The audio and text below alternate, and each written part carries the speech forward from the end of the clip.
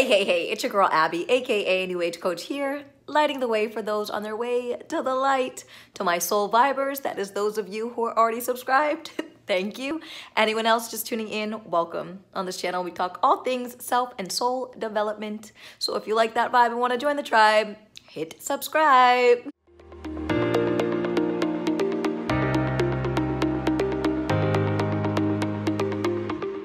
Soul Vibers, I'm still somewhat on a on a high from an interview I just came off with with the amazing, beautiful Rebecca.